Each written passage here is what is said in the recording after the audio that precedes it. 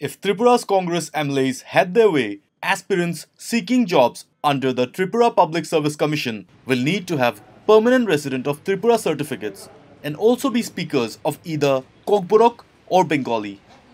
Congress MLAs Sudeep Roy Burman and Ashish Kumar Saha on Monday reached the TPS's headquarters in Agartala to bring attention to an advertisement that caused a stir. At the office, Burman apprised officials of an advertisement for the post of agriculture officer that did not ask for provision of the PRTC. এখানে আসার একটাই কারণ, বারংবার সরকারের দৃষ্টি আকর্ষণ করা সত্ত্বেও এখন পর্যন্ত তা শোনা হয়নি ব্যাপারটা হচ্ছে সিপিএসসি দ্বারা যে বিজ্ঞাপনগুলো হয়ে থাকেন, বিভিন্ন গ্রুপ বি সি পোস্টের জন্য সেখানে পিআরটিসি কিংবা বাংলা কব্বরক জানার যে প্রভিশন সে প্রভিশনগুলো একেবারে দেওয়া থাক, হয় না। এতে করে বহিরাজ্যের প্রচুর সংখ্যক বেকাররা এতে অংশগ্রহণ করছেন এবং নানা পোস্টগুলো তারা রেফিল করে নিয়ে যাচ্ছে ডিপ্রাইভ হচ্ছেন আমাদের রাজ্যের বেকার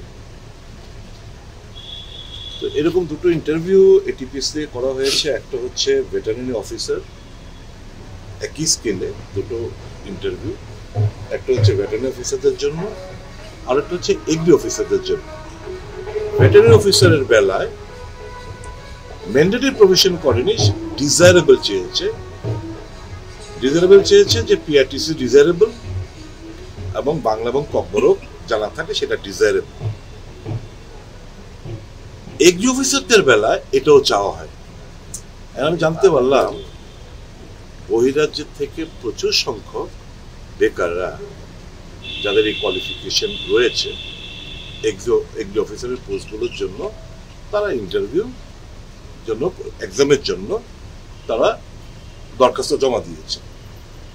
তো আমি যখন এই যে ব্যাপারটা জানতে পারলাম, কালকে ফোনে কথা বললাম, সময় চাইলাম, আজকে এসে একটা মেমোরান্ডাম দিলাম।